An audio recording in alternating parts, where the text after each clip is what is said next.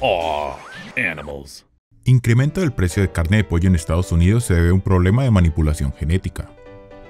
Aviogen Group, el mayor criador de pollos en los Estados Unidos que provee el 25% de los pollos para la industria avícola, ha descubierto que su raza de pollo estándar Ross tiene un defecto genético debido a la manipulación que está haciendo infértiles a los animales. Un grupo de científicos enviado por Aviogen para examinar el asunto descubrió que los gallos fueron sobrealimentados, inhabilitándolos para reproducirse. Sanderson Farms, una de las mayores clientes de Aviogen, dijo que alrededor de 17% de los huevos fertilizados por esa raza en particular no pudo salir del cascarón el año pasado. Aviogen admitió que un cambio no revelado en la genética de la raza había hecho a los gallos propensos a ser sobrealimentados. Este problema está causando una escasez de pollo que, sumado a la falta de aves reproductoras, está generando un incremento en los precios.